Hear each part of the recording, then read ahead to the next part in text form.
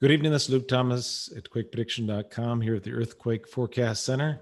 It is 9:58 in the evening on Monday, February 22nd, 2021. And we're going to go and check what has happened in the last uh, 24 hours. And over to this right here.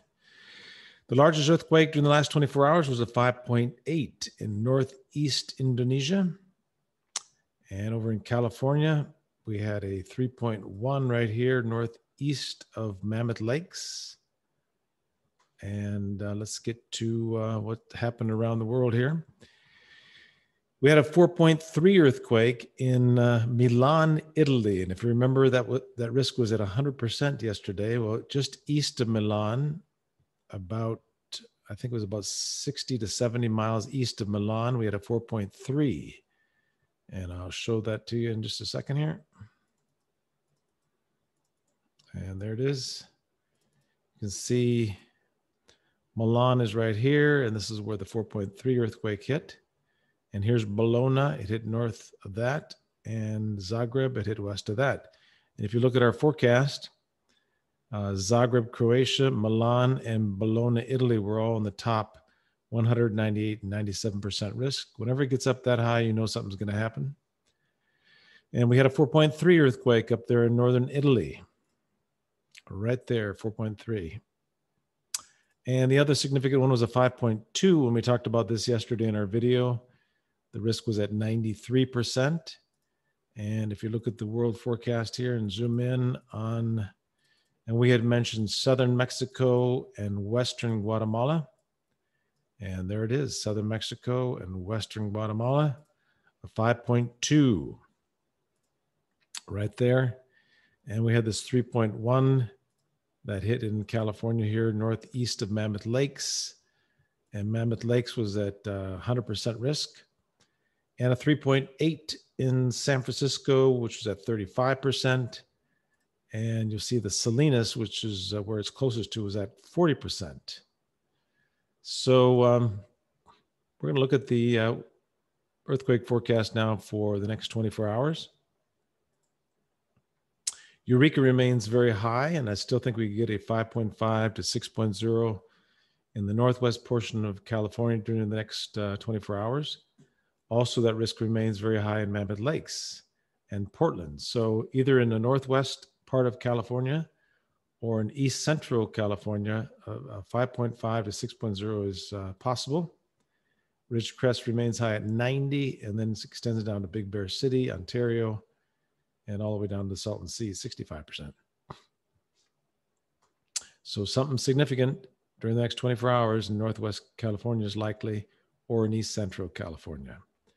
And in the world forecast, you noticed uh, Italy and uh, Italy, Milano, and Bologna, the risk has dropped 76 and so on.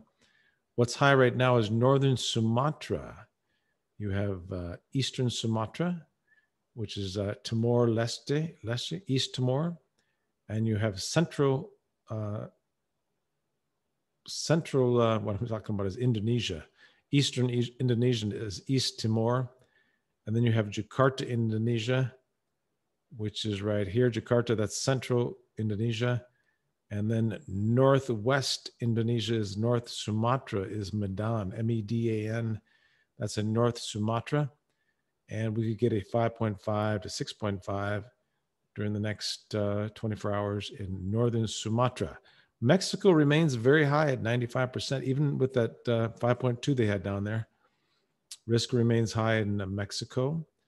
So we could get a 5.5 to 6.0 in far southern Mexico near Guatemala uh, during the next 24 hours.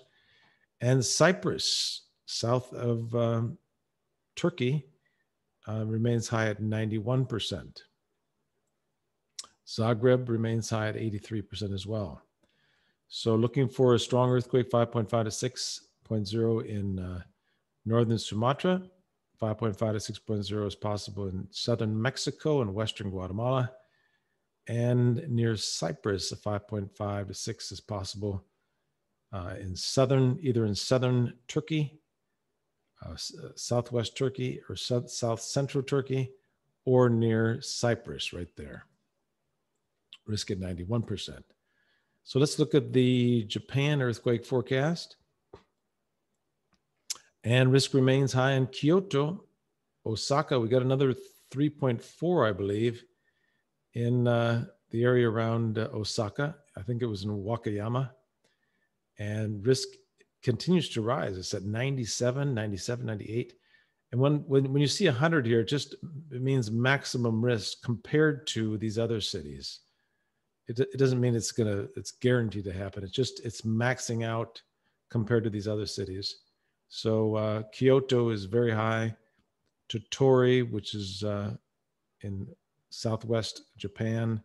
Kyoto is just north of Osaka. So, and these are all southwest of Tokyo. So, in that area, Kyoto, Tottori, Hiroshima, Osaka, um, a 5.0 to 5.5 is likely during the next 24 hours. Once again, we'll look at the uh, Los Angeles and the data during the next uh, 48 hours to 72 hours, during the next 72 hours.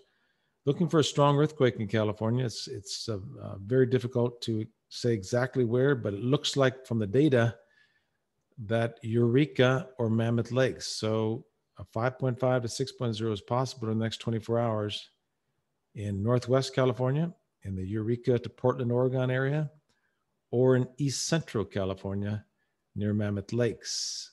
And the Ridgecrest is also high at 90%, so it could hit in that area as well. Thanks again for stopping by today.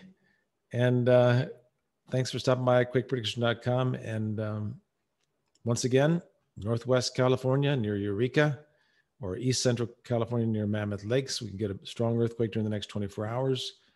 Also, over in Medan in northern Sumatra, a strong earthquake is possible there. And in southern Mexico, 5.5 to 6.0 is possible there. And um, in Japan, near Kyoto and Osaka, earthquake is, uh, risk is very high there with a 5.5 is possible in that area. Thanks again for uh, following us here at quakeprediction.com. And uh, if you haven't subscribed already, I really appreciate that if you do. Thanks for supporting us. Uh, 15 years of research here now, quakeprediction.com, and uh, over 147,000 followers. Thank you so much for your help and uh, support. And we'll talk to you again tomorrow. Tomorrow is Tuesday, Tuesday, February 23rd. We'll talk to you tomorrow evening at about the same time, about uh, right around 9 30, 10 p.m. Uh, Pacific time, California. All right. Thanks so much. And we'll see you tomorrow. Thank you.